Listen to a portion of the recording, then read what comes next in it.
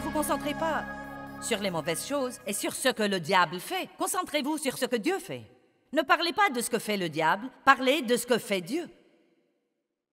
Ne parlez pas de tous les problèmes du monde. Trouvez quelque chose de bon pour en parler.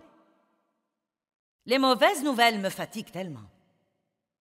Non, mais en fait, je ne regarde même pas les nouvelles. Non, mais c'est étonnant les choses qui se passent dans le monde et je ne le sais même pas.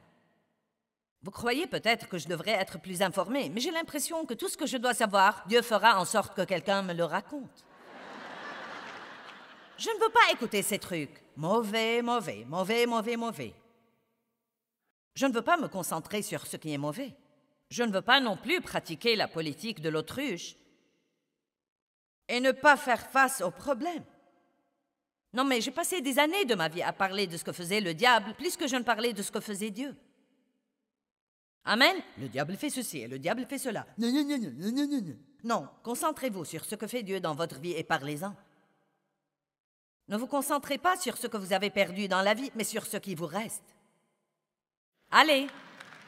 Ne dites pas, eh bien, vous savez, je n'ai pas eu une bonne enfance, on a abusé sexuellement de moi, et je n'ai pas eu l'occasion d'avoir toute l'instruction dont j'avais besoin, et mes parents ne m'ont pas traité comme il fallait, et mon premier mari m'a maltraité, il sortait avec une autre femme. Tous ces trucs me sont arrivés à moi aussi.